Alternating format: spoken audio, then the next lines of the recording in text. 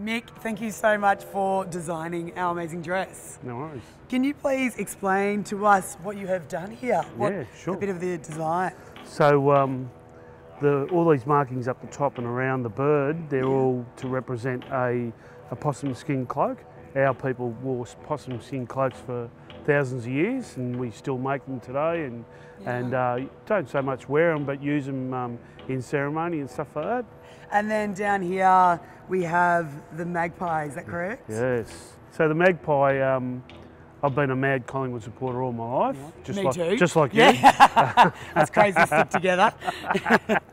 And um, so the the uh, magpie's got a, a beautiful song. It's very tribal. It's uh, very family orientated.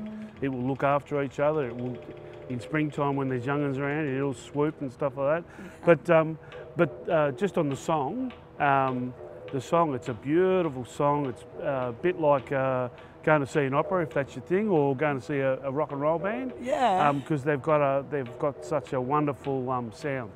Oh, that's amazing. yeah. And just everything that represents is just so fitting because Yes. that's exactly what Yeah. we obviously represent here Yes. at Collingwood as well. Yeah. So thank you so, so much Yeah. for designing the dress, for giving us a part of your culture. Yes. And we are so proud to be wearing this this weekend. No worries. So thank you. And we can't forget either, we also have the flags. Yes, the flag, the the uh, well. the Aboriginal Torres Strait Islander flag. It's uh, for NAIDOC Week, which is a, a very special week for us. Yeah. We get to celebrate all things Aboriginal and Torres Strait Islander. Yeah. So it's great. So it's good to see you wearing it this week and Yeah. uh, flying the flag. Absolutely. As I said, we are so very proud to be wearing it. So watch us rock this dress on the weekend, Go everyone. Pies. Go pies.